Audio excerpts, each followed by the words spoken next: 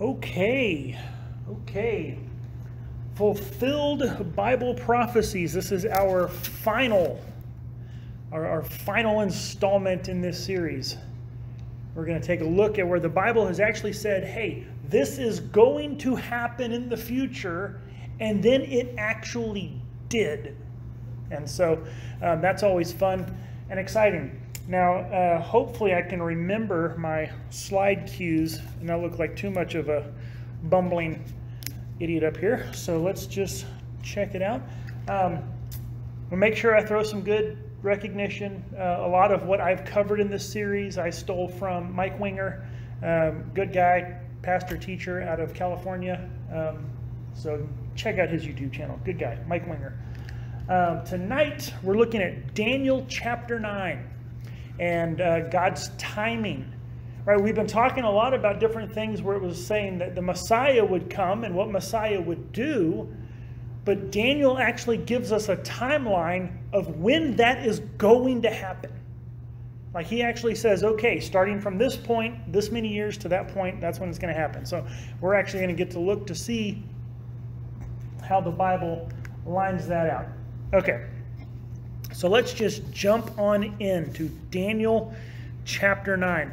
Um, at this point, uh, Daniel knows that the uh, exile, the end, is going to be coming soon. Um, he uh, has Jeremiah's writings, and so he knows 70 years and everything. So he's praying on behalf of Israel, praying for the people. And uh, while he is praying about that, uh, an angel comes and gives him this vision, gives him this um, Revelation.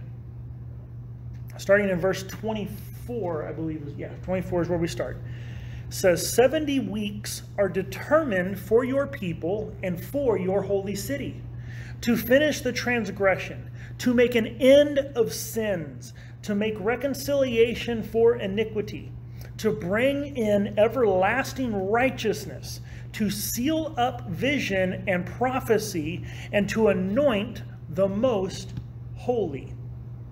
Okay, so, so now he's saying, okay, in 70 weeks, here's what's going to happen. That transgression will be finished. We're going to put an end to sin. That there's going to be reconciliation for iniquity, for, for the evil, for the transgressions, for the sin. Reconciliation is going to be made, and the most holy will be anointed. So that's a reference to the Messiah. So he's saying in 70 weeks, we're, we're going to see this happen. And that is quite, I think, obviously describing New Testament theology, reconciliation of sin, forgiveness of sin, um, and all of that. And we're given this time period of 70 weeks. And then in verse 25, says, Know therefore and understand that from the going forth of the command to restore and rebuild Jerusalem until Messiah the Prince, there shall be seven weeks and 62 weeks. And the street shall be built again, and the wall even in troublesome times. And so here we actually are getting some details of what we are going to look at. It says that from the command to restore and rebuild Jerusalem. Okay, so there's going to be a command, and that command is going to be a starting point, and um, from there, uh, it'll be restore and build Jerusalem, and the street will be built again, the wall will be built. And that this command to do these things is going to set off the time, uh, the timeline, the countdown, the clock for when Messiah will come. So I said that there is going to be, from this command until Messiah comes, there's going to be seven weeks and 62 weeks. Okay, so there we get our kind of first look at our timeline. We'll take some closer looks here in a little bit. Verse 26 And after the 62 weeks, Messiah shall be cut off, but not for himself. And the people of the prince who is to come shall destroy the city and the sanctuary.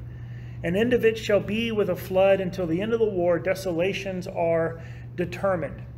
And so he's saying that at the end of this 62 weeks, which is actually 69 because you have the 7 and then 62. At the end of the 69th week, Messiah gets cut off. That, that term cut off, we've looked at it before, where it's used in Scripture, it's actually like a, a reference to a judicial execution. That this is someone being cut off from the land of the living, but not just killed, but killed in a judicial fashion. This is penalty for crime. So Messiah is going to get killed. There's going to be a death sentence, but not for himself. That sounds familiar.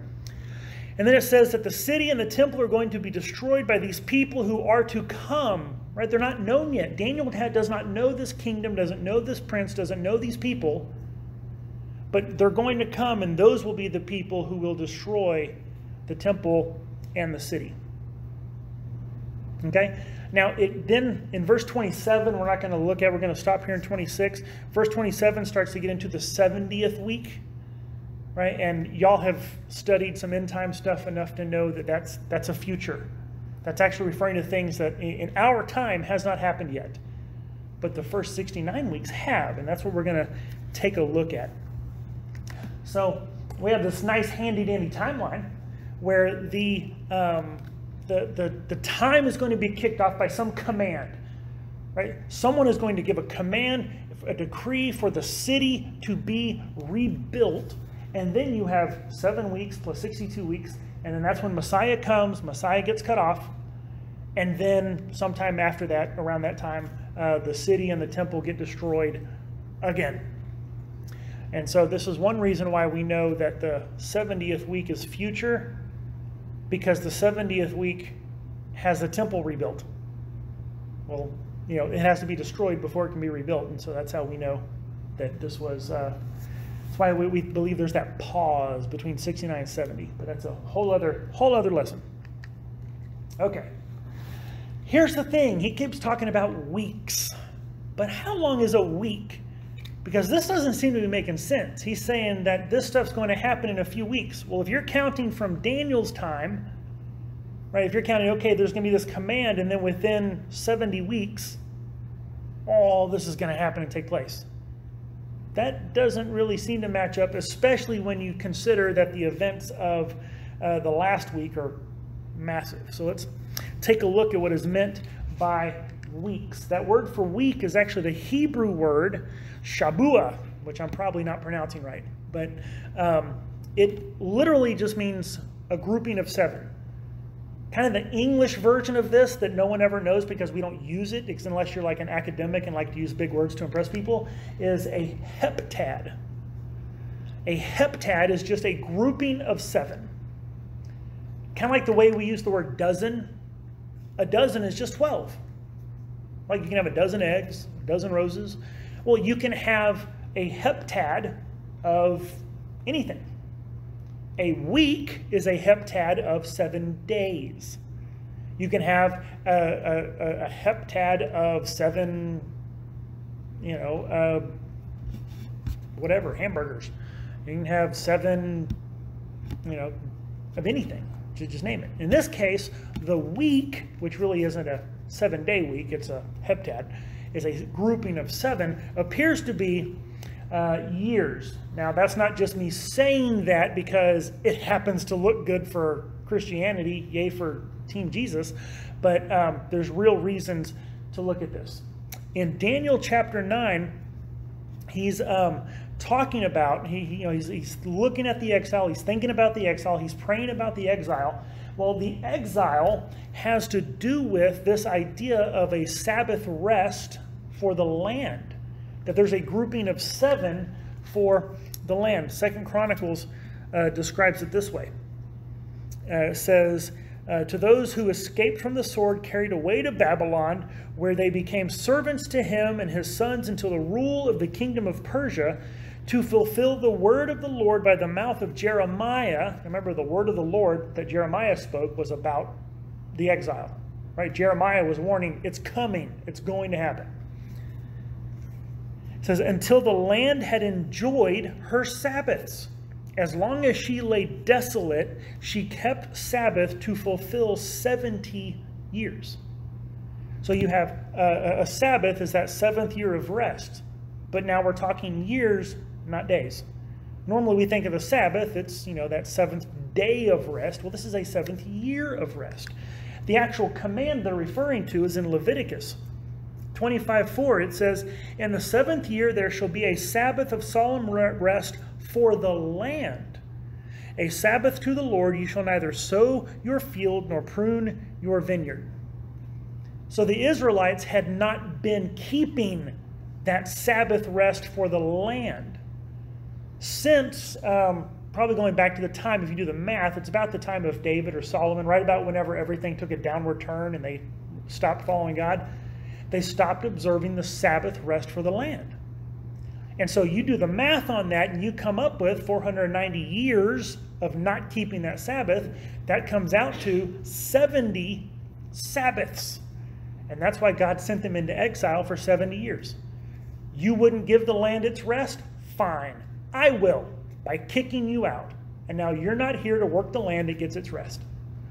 And so for 70 years, while the Jews are in exile, the land is basically getting its Sabbath rests.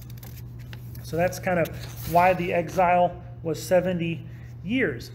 Uh, but even more than that, in Daniel chapter 12, Daniel is talking about the 70th week. Now, we're not going to get into details of that, but he says this in Daniel 12 11. Uh, yeah, there we go. Um, and from the time that the daily sacrifice is taken away, and the abomination of desolation is set up, there shall be 1,290 days. Now, if a week is just a week of seven days, how do you get 1,290 days inside of seven days? You don't. The seven has to be something else. Revelation 11 and 12 also describing um, the 70th week is this talking about a seven year period that is cut in half, three and a half years. And so if the 70th week is seven years, then it makes sense that the other 69 weeks are also referring to years. Make sense? Right? Got a couple of almost skeptical looking eyebrows. I'm like, okay, we good? Questions? Right? Okay. All right, so what does that do to our timeline? If we got 69 weeks of years, so we're actually talking about years, times 69 times 7, 483 years. So there's going to be a command, 483 years, and that is when Messiah is going to come. So what's the question we have now? What do we need to know? When does the command happen? Right? Do we know when this command is issued? Do, do we actually have something in Scripture that says, here, from this point, go forward? Well, we've got a few candidates, if you will. You have Cyrus in 539 BC. He gives a, a decree for some people to go back to Jerusalem and rebuild some stuff. Artaxerxes in 457, and then again in 444, he gives two different commands for people to return to Jerusalem and build some stuff. Uh, some people will point at Darius. There's one point where Darius gives a command, but really, he came across Cyrus's command and went, "Hey, uh, did this happen? Hey, hey guys, go do this." Right? He's looking at a decree from a former king and wanting to make sure it got done. So it's not really its own command. It just refers back to number one. So those are our candidates. So we got to see: do any of these actually fit the prophecy? Okay? Um, Cyrus the Great. If you want to open to Ezra chapter 1, you can, but I'm going to go ahead and read this. So in 539, uh, Ezra records, Thus says Cyrus, king of Persia All the kingdoms of the earth, the Lord of God of heaven has given me, and he has commanded me to build him a house in Jerusalem, which is in Judah who is among you of all his people? May his God be with him, and let him go up to Jerusalem, which is in Judah, and build the house of the Lord God of Israel. He is God, which is in Jerusalem. And whoever is left in any place where he dwells, let the men of that place help him with silver and gold, with goods and livestock, besides the freewill offerings for the house of God, which is in Jerusalem.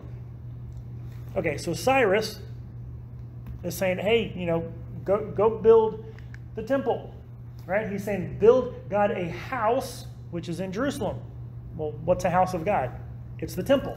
So he's commanding that they return. Hey, Jews, you can go home, go home, yeah, have some money, have some stuff, go back and build a temple to your God. Okay, well, here's the thing. In Daniel 9, what's the command supposed to be? A command to restore and rebuild Jerusalem. The street shall be built again and the wall. Well, that's talking about the city, not the temple. And Cyrus's command was to build the temple. He didn't say anything about the city. So that one doesn't seem to pass uh, the test. And we know that at that time in um, 539 BC and the immediate future decades going forward, the city was not rebuilt. So not only does the command not say to build the city, we know from history it didn't get done anyway. Okay, so I think we can cross that one off. So now we have this first command from Artaxerxes in 457 BC. So almost a century later. And he says, I'm not going to read it.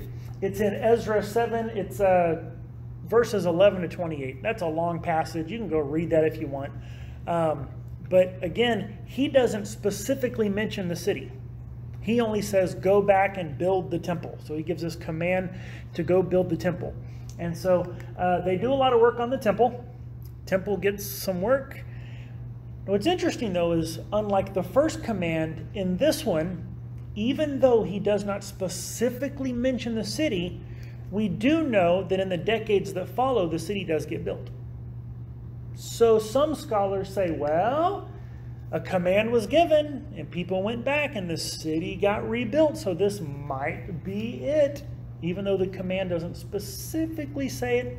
Some people say, hey, this is it. This one's a contender. This one might be it. So let's take a look. We have the command in 457 plus 483 years. If you do the math on that, you get about 26 or 27 AD. Because if you go and you look in Ezra, it says, in the first year of the reign of Artaxerxes, which it could be 457 or 456, whichever, you do the math, you get 26 or 27 AD. What events took place in 26 or 27 AD? Well, a lot of scholars, depending on how they date some of the events in the Bible, some people say that's around the beginning of the ministry of Jesus.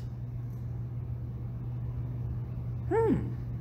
Well, that might work. And we know for sure, even if you, which I tend to think Jesus really probably got his start in 29 or 30, um, but that's a whole other issue. But even if you think, okay, it wasn't exactly when Jesus began his ministry, it's when John the Baptist began his, who was the forerunner for the coming of the Messiah. So that actually fits the timeline. Hey, Messiah is going to come.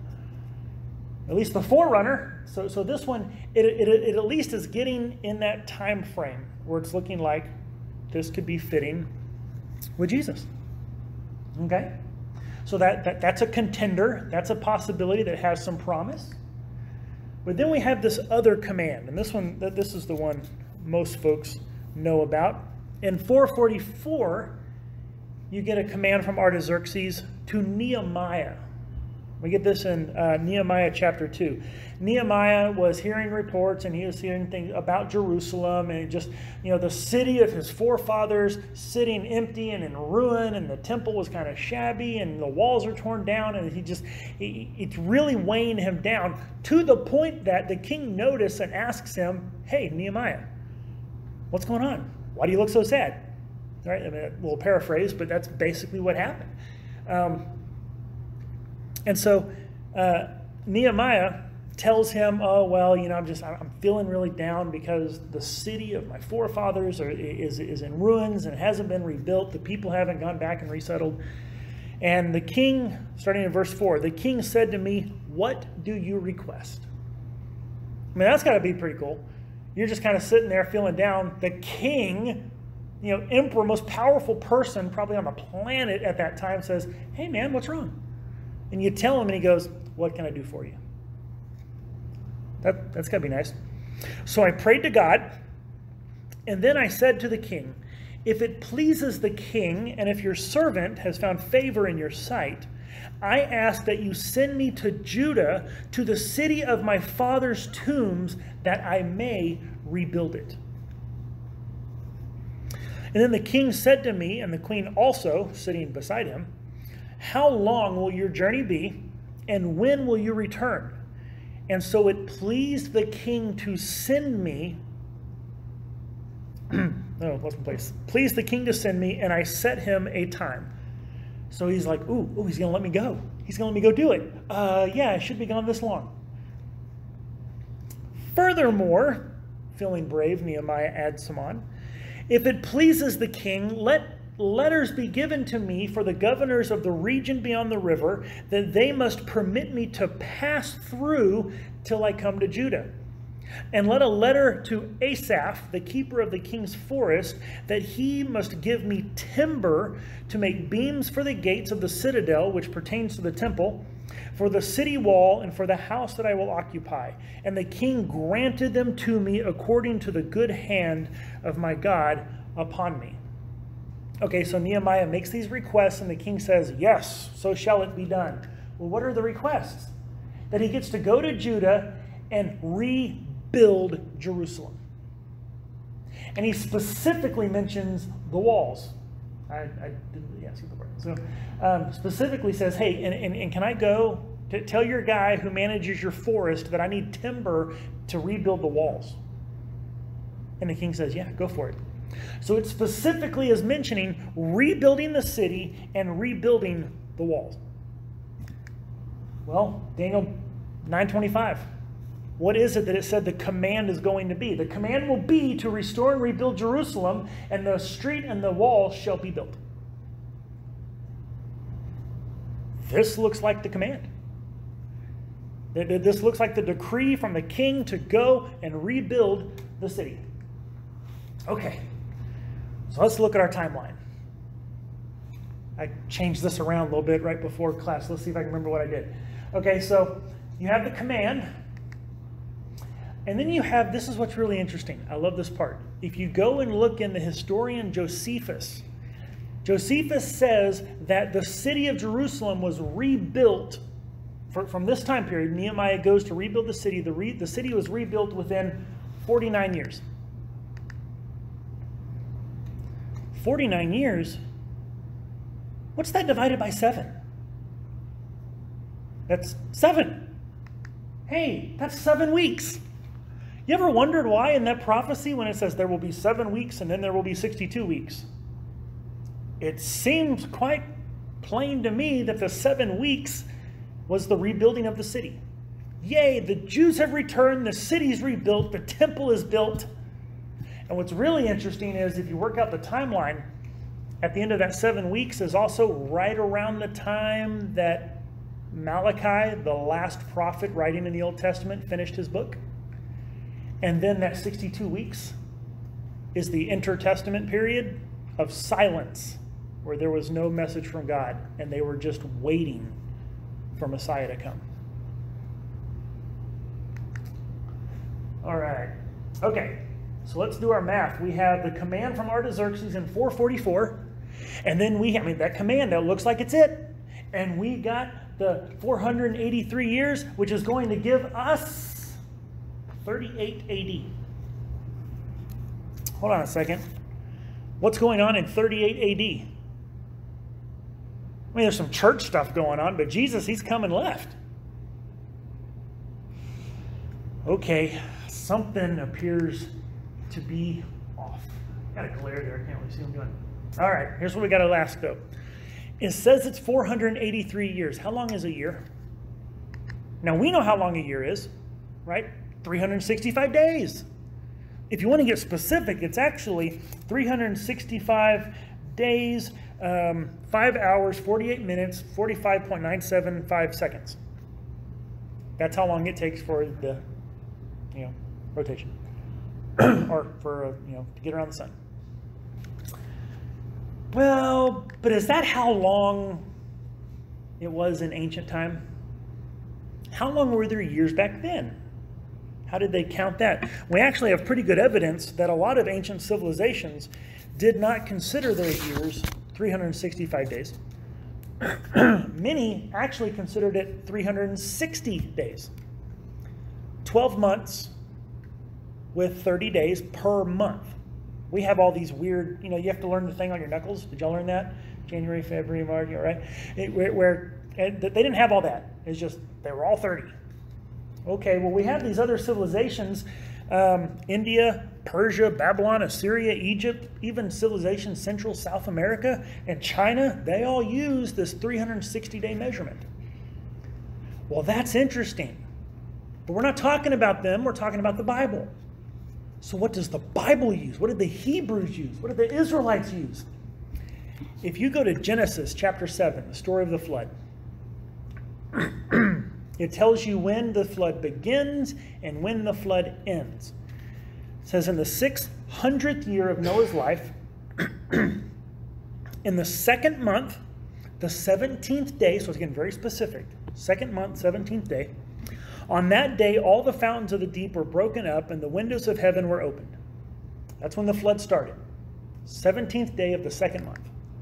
When did it end?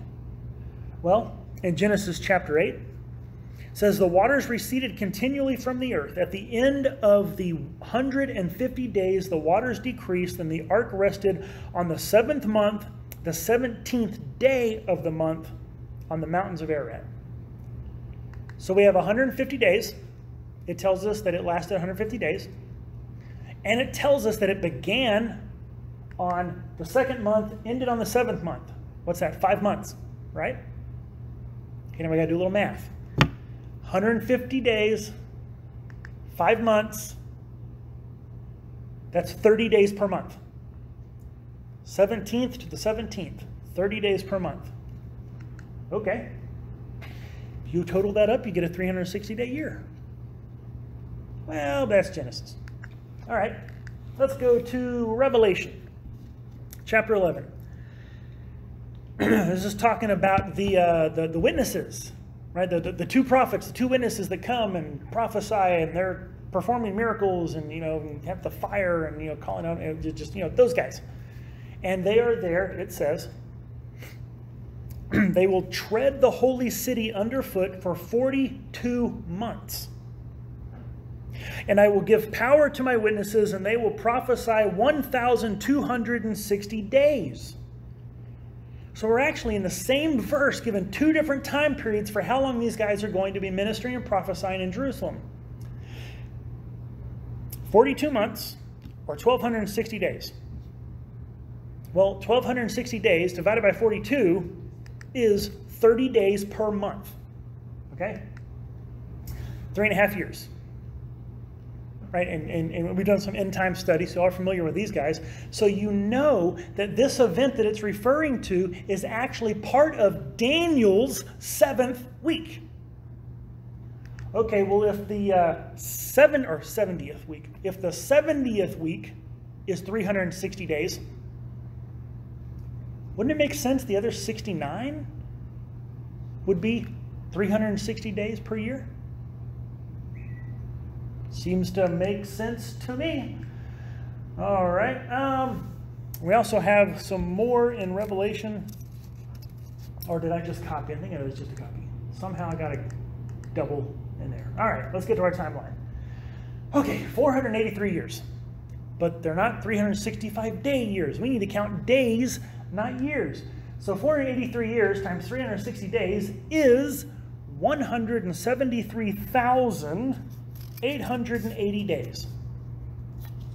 Well, now we've got a problem. If we're going to count days, what day do we start on? I'm not going to go into the details, but the fun thing here is March 5th. In the book of Nehemiah, if you look at the clues that are in the text, whenever he says that he turned and asked the king, Hey, can I go rebuild the city? He gives you what month it was.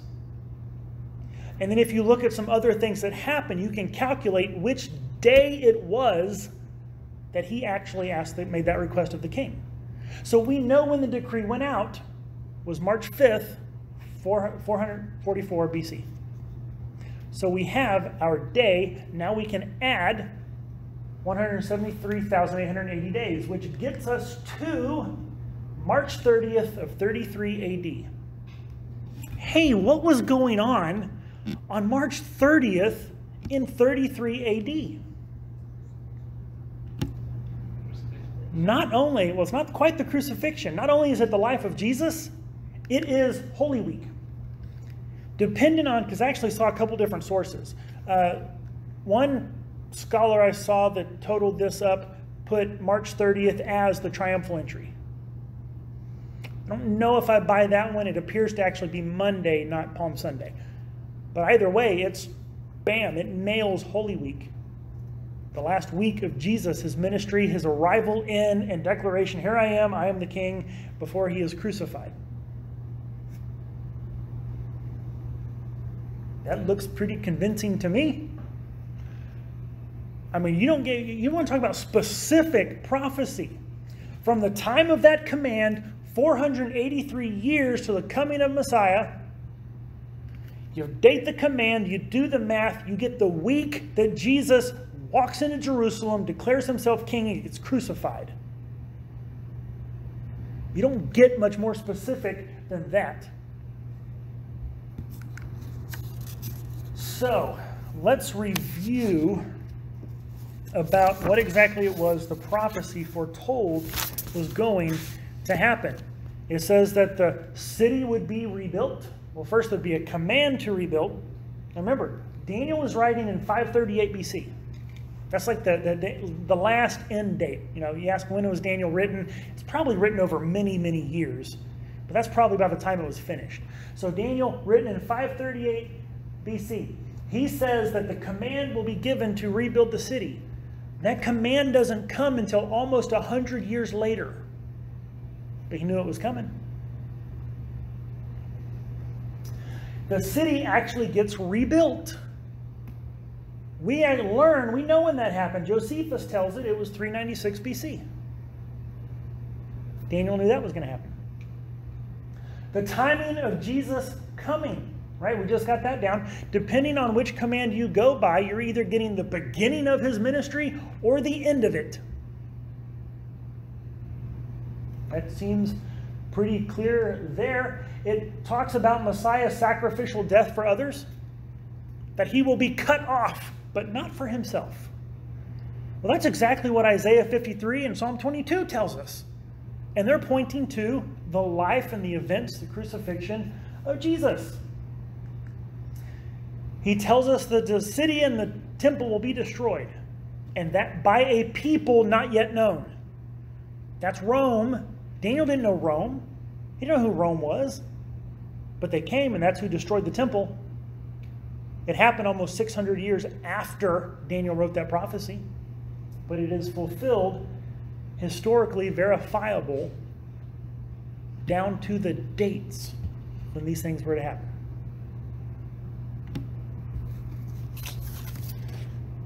So there we go on that one. Now, now here's something that's kind of fun. This is interesting.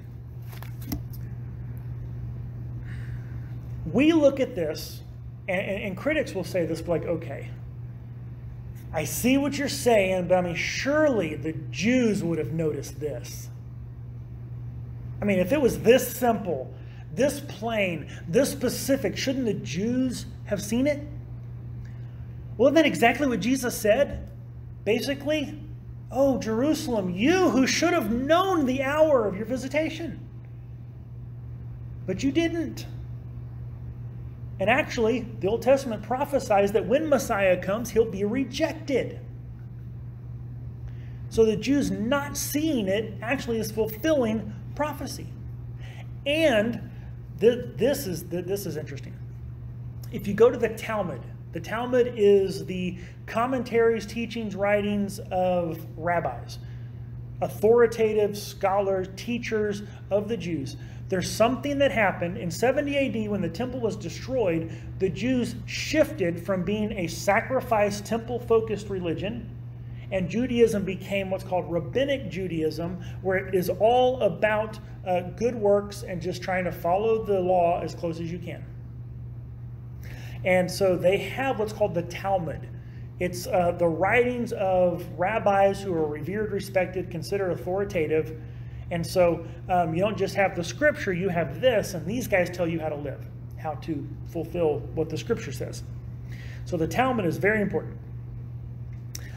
After the time of Christ, rabbis actually pronounced a curse on anyone who would try to calculate the dates of Daniel 9.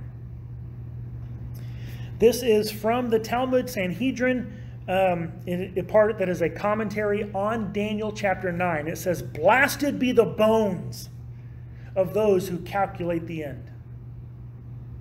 Another section that says, All the predestined dates for redemption have passed, and the matter now depends only on repentance and good deeds. Stop looking for Messiah. You're not even allowed to calculate it. A curse be upon you if you try. Now it's just repent and try to be good. Wow. That says a lot. Because Jesus was the Messiah. They, they know. They know when Messiah was supposed to come. And they rejected Jesus, so who else is it? There is no one else who's a candidate. But the time's passed. So what do they do? They just close the door. Don't, don't look over there. Don't worry about that. Let's just be good. Let's just follow the teachings of Moses and the prophets and try to be good. Don't worry about that Messiah stuff. So, questions? Comments? Thoughts?